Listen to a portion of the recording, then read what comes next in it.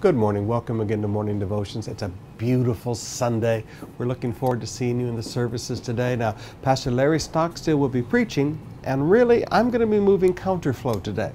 So, wherever Brother Larry is preaching, I'm going to be in one of the other campuses doing the offering thoughts and kind of keeping all of the campuses tied together. So, I'm going to have a great time getting to see different congregations face to face and getting to see other congregations that I normally see face to face by video. So, it's going to be a fun day. We look forward to seeing all of you. For our devotional thought today, I'd like us to go to the book of 1 Thessalonians, chapter 1. 1 Thessalonians, chapter 1, verse 5. Paul said, You know how we lived among you for your sake.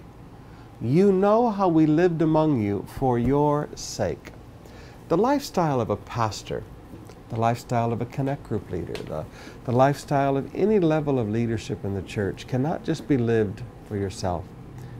As a leader, we no longer belong to ourselves. We, we have to choose a lifestyle for their sake. Let me say that again for their sake.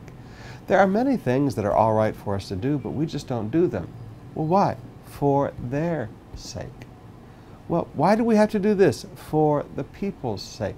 Well, why do I have to act like that? For the people's sake.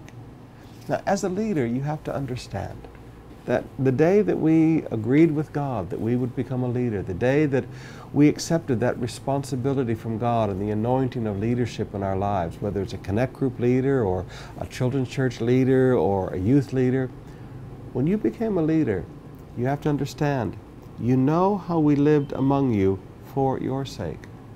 The decisions we make about lifestyle, the decisions we make about how we live our lives, the decisions we make about our entertainment, the decisions we make about everything in our life is no longer just for us, it's for the sake of the people.